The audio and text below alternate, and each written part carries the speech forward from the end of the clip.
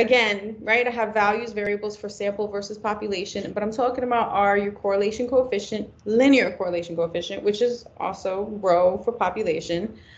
Excuse me, I should say. Just don't, okay. Um, you're never going to have a rho that is either less than negative one or greater than positive one. It's going to be between negative one and positive one. It can be negative one or positive one, but most likely you will not see those values because that's like a perfect situation, which is never going to happen, right?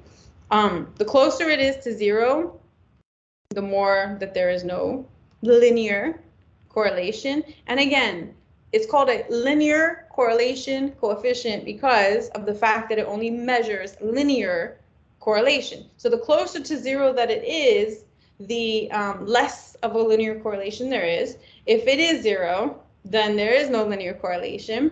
Um, you're probably never going to see a situation where it is zero either because, you know, there's always mathematics and statistical, you know, there's always a slight correlation we can make up or whatever. There might be error in that, but the closer I am to negative one, the more negative,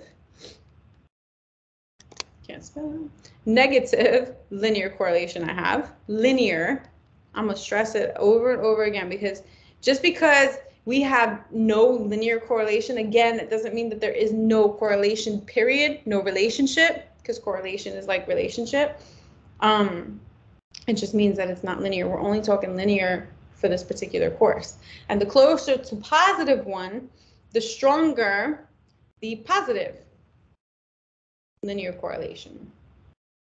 So if I have, and I should say strong, because as it gets as it gets closer to positive one, the stronger, and as it gets closer to negative one, the stronger. So if I were to see, like in this example, if I were to see, you know, a correlation visually with um, with my graph, you know, I mean, that, uh, I would expect if it were positive, I would expect R to be closer to positive one.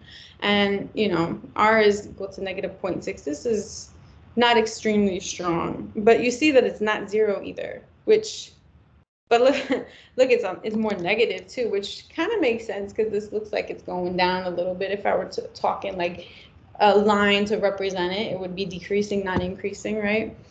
Um, but I would still say it's not strong enough to be good linear correlation.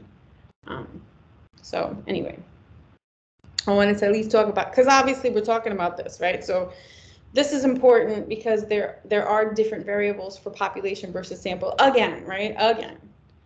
So let me, I'm going to separate that from